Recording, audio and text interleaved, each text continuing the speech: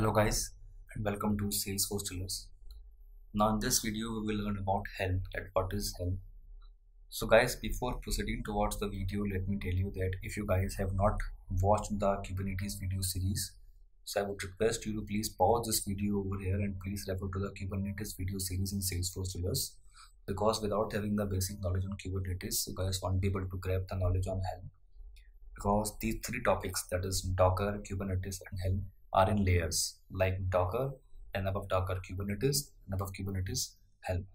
So if you have not watched the Docker and Kubernetes video series, I would request you to please pause this video over here and please refer to those videos and after that you can refer back to the Helm video series.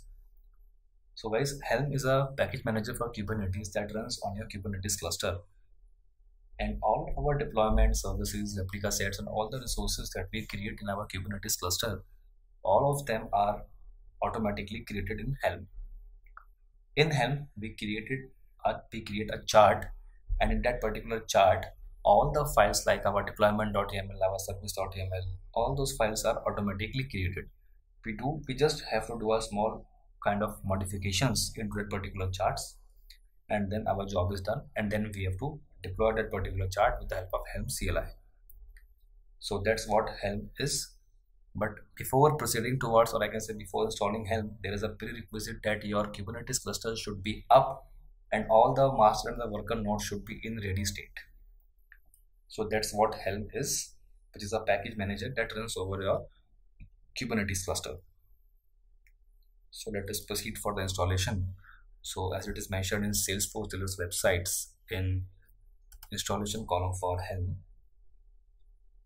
So we will be downloading a tar file of Helm version 3.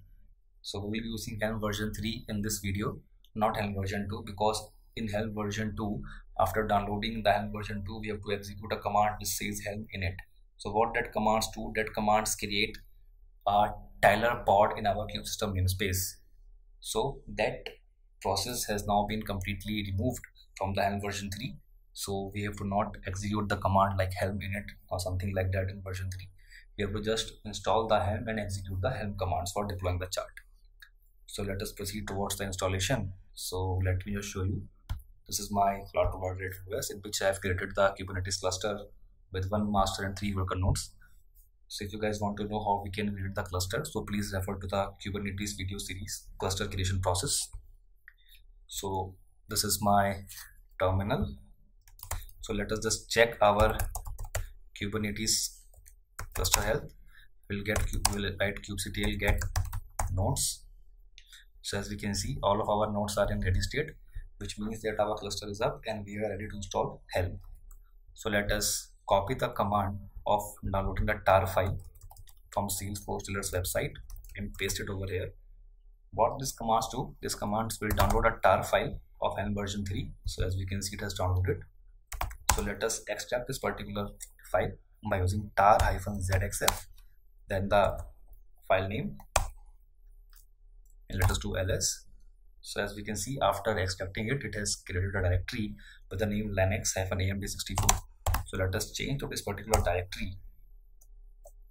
So as we can see here is a executable file binary file for helm so we will move this particular file to our user local bin directory so let sudo move helm to user local bin directory.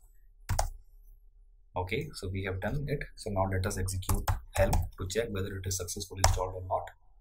So yes as we can see helm is successfully installed. So that is how we can install helm so as i told you the prerequisite that the cluster should be in up and ready state. So as we have seen we have executed kubectl get nodes to check our cluster status and once the cluster status was in healthy state then then after we have executed this particular command for installing the helm. So that is how we can install the helm. Now let us proceed further and let us see how we can create our first helm chart. So let us proceed further. Let us execute the command for creating the helm chart which says helm create my chart so what this command will do? This command will create a directory with the name of my chart if I'll show you. So here it is. So let us change to this directory and have a look what all the files or I can say what all the contents this particular file has created. So here it is. So as we can see there are some directories charts templates with two files charts.yml and values.yml so let us do tree and see what all are there so as we can see inside our templates there are files like deployment.yml service.yml index.yml so these are the files that are automatically created when we created the helm chart by using helm create my chart.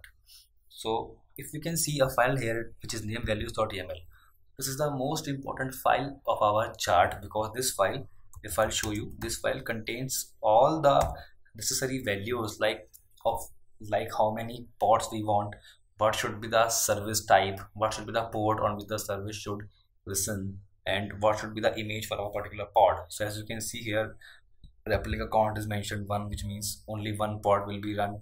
Image which images will be using? Nginx. So means that when we will deploy this particular chart it will create a pod for the nginx. And the service type is cluster ip so from the cluster ip we will move the cluster ip name to the load balancer using the helm command. So this is the most important part of the chart directory. So if you want to deploy your own image then you can replace the image name with yours image name from here. And if i will show you the value the deployment.yml inside templates directory. So as you can see all the names are parameterized in this particular YAML file. Means these all names will be parameterized and they will be picked from the values.yml file. So that is how it looks so let us start deploying this chart. So let me just open this. Let me split the screen. Let me just open the values.yml so that we can see how the commands should be run. So let me just get the values.yml over here. Okay. This is our values.yml so if I'll show you in the Salesforce Drillers website for the deploying the helm as we have seen how we can create the helm chart we have executed this command already helm create my chart. So in the next option we will see how we can deploy the helm chart. So all the commands here are mentioned very nicely. So let us proceed. So let us deploy our first helm chart. So for this we will write helm then install then chart name. So let us give our chart name as salesforce drillers. Then the chart path that is my chart it is on home. So we'll mention the chart name. Then hyphen hyphen set. Now suppose we want only we want we want two replica counts for this particular helm chart. So we will write set then in the values.yml we can see it is mentioned replica count. So we will write set replica count equals to 2 which means two pods will be up then hyphen hyphen set. So in the service as we can see it is cluster ip so we will mention the cluster ip to load balancer because we want this nginx deployment to be accessed outside of the cluster. So we'll write hyphen hyphen set service dot type equals to load balancer means it will create a load balancer for our chart. Then we will press enter. So as we can see it has successfully deployed our chart. So if i'll show you by executing kubectl get all. So as we can see two pods of this are running and for the service it has created an external load balancer DNS that is over here. So as we can see both of our pods are in running state. So if I will show you my load EC2 dashboard and if I will go to load balancers so it should have created the load balancer. That is here it is. This load balancer is of, is of our Kubernetes cluster so you can refer to the Kubernetes cluster creation video to have a look on how this load balancer is created. So this is our new load balancer that is created using the helm chart. So as you can see port number 80 which was in our values.yml file. So let us copy this particular DNS load balancer DNS and paste it in the browser. It will take some time to populate the DNS so once it is ready we will see the welcome page for Nginx over here automatically. So that is how we can create or I can say we can deploy our helm chart. So let me just recall it. We have first of all we have executed the command which says helm create my chart. And in that particular directory we have created a my chart directory.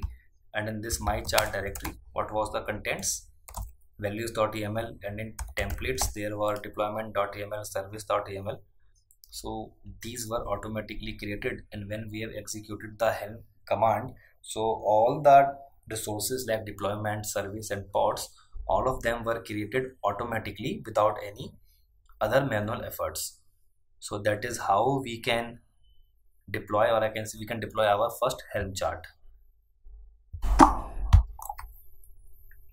so now let us wait till our DNS gets populate. So yes as it is done we can see a welcome to Nginx page has been shown.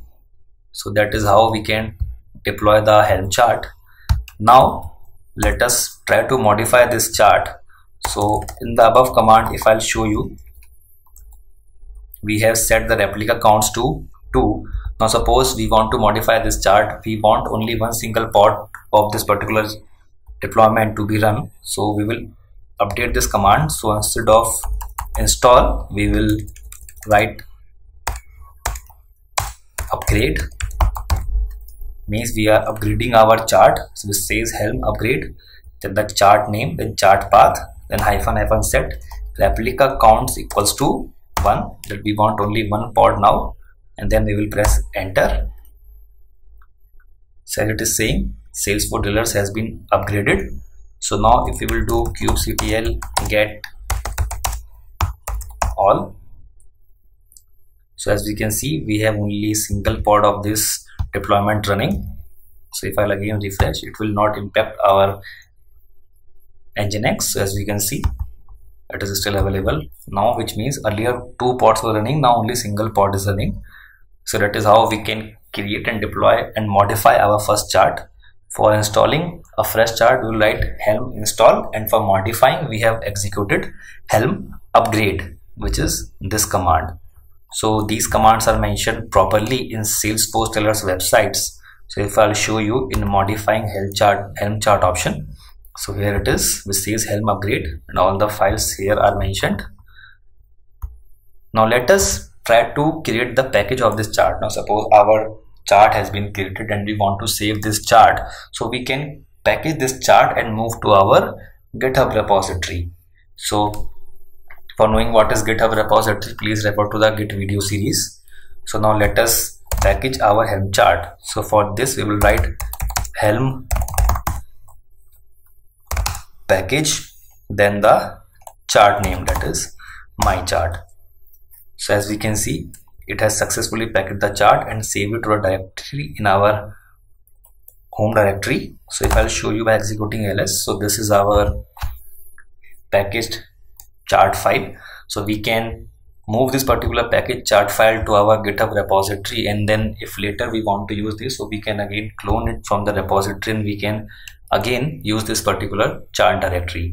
And if you guys want to de deploy your own image so in the values.yml you can replace your own image name from here. So that is how you can do this. So now let us try to delete this particular helm chart. So if I'll again if I again show you let me just show you over here. This says kubectl. Okay. All okay so these were the resources. So now let us delete this chart. For this we will write helm delete salesforce drillers and then when I'll press enter so it will delete our chart. And all the resources like pods services deployments all of them will be automatically deleted so if i'll show you kubectl get all. So we can see all of our pods are deleted. So we can see service is still there. So this will also delete. So let us wait till it gets deleted. Let us try to check again by executing kubectl get all. So yes it is still there. It is in deletion process. So let us wait till it gets completely deleted. So yes we can see it is deleted. So that is how we can delete a helm chart so i hope this video has been clear to you. So thank you guys